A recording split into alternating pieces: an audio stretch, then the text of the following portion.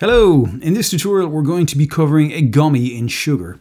Um, I've made the gummy, I've made the sugar, and now we're going to bring them both together using the matrix object.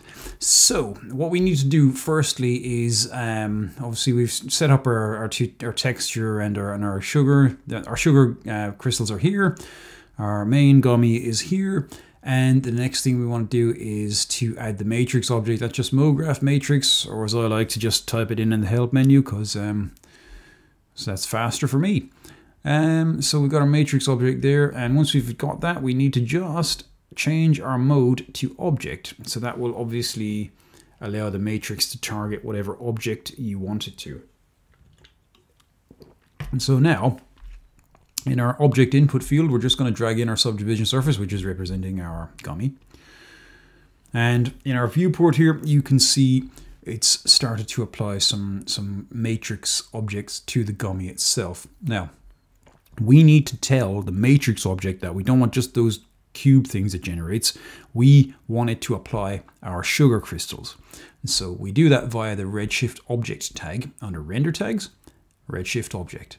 Now, we go in the Redshift object, um, and obviously my Cinema 4D Maxon, if you're listening, is still glitchy and it just selects whatever it wants out of this menu here when I click on something, when it should default to the thing I click on. So I'm just going to select manually tag because I don't have a choice, thanks Maxon, and we're just going to select from this mode menu here, custom objects.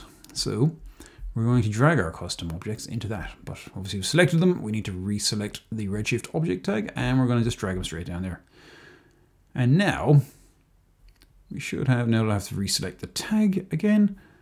Um, we've seen we've seen in the viewport here, obviously it's a bit low res on this one, but you know, the viewport here is showing us some tiny little particles appearing. So we're gonna need to pump those um, numbers up because those are rookie numbers. So instead of 20, we're gonna we're going to times that by well, however many, uh, by a thousand. Boosh.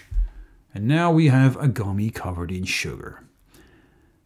And that, my friends, is how you do it. Um, if you enjoyed this tutorial, if you found value in it, always appreciate a like and a subscribe. And I wish you all the best with your creative journey.